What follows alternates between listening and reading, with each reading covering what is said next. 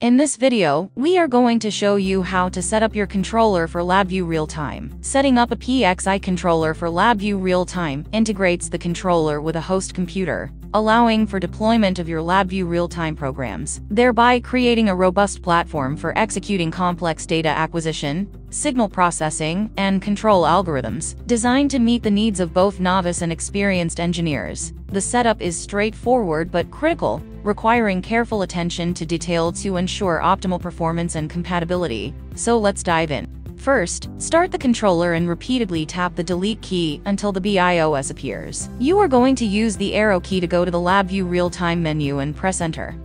Select LabVIEW Real-Time and press enter again. Save changes and reset so the controller will now boot into LabVIEW Real-Time.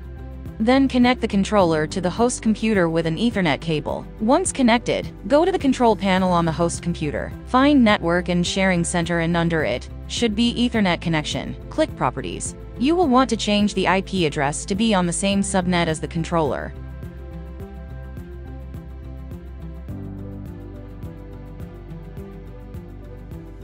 Right-click on the controller and find Format Disk. Lastly, right-click Software and install your required software.